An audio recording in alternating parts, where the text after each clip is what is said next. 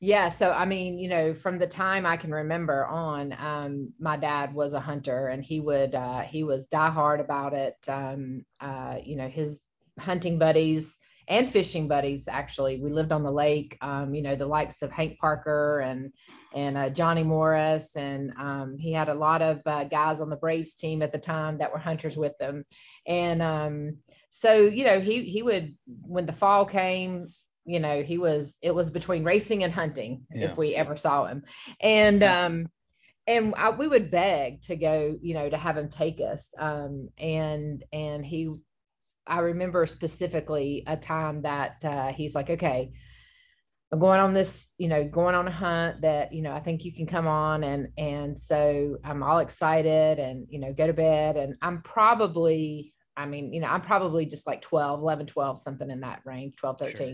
13. And, um, and I wake up the next morning and I'm like, uh, wait a minute, like this is normal wake up time. What's going on? And he's like, oh, I just decided I didn't want to wake you. Um, it was going to be this, it was going to be that, you know, there's all these excuses. And I Yeah. was like so bummed. Yeah. And so I never went hunting um, as a kid. You know, we fished at the lake, we did things like that. Very well aware of hunting. Um, I mean, our house looks like your room there um, you know, just all over. And, um, you know, just like I said, I've got lots of memories of the conversations and the buddies and the trips and all of that kind of thing from my dad. But um, I really didn't get into hunting myself until I met my husband. Um, and we met in 2010.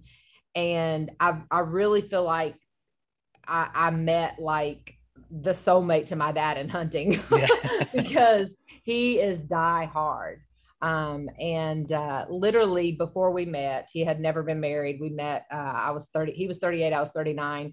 And um, he literally left from October to after December yeah. and never came back home like you know he was he he and his buddies were non very um, hardcore you know headed to iowa and illinois and all these places and he was from pennsylvania so great Mm. great land up there as well and um and so he got me you know interested in well i mean i was already interested but he got me involved and uh, took me out for my first hunt and so we've been doing it since and um you know i i love I, I I just love the aspect of being outdoors. I love watching nature.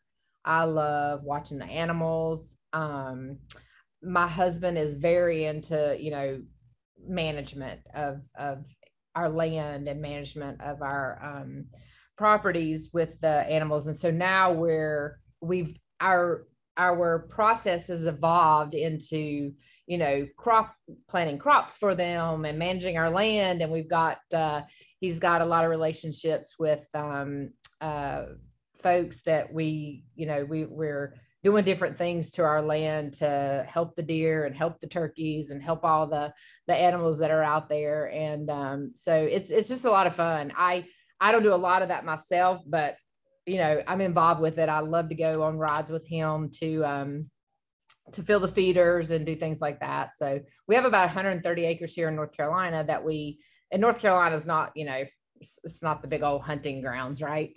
Um, but uh, we we have uh, successfully uh, grown some 130, 140 inch deer, which for our area is good. We've got a lot of turkey population. Um, we just saw a hen and, and babies, so we're excited Great. about that. Yeah, it's so hard to uh, for the babies to survive around here with um, you know some of the different predators that we have. But um, uh, but my husband, we we have land in Pennsylvania, we have land in Ohio, we've got leases in Illinois, so we're it's nonstop cameras, you know, looking at stuff, Yeah. managing, talking, all that good stuff. It's a So-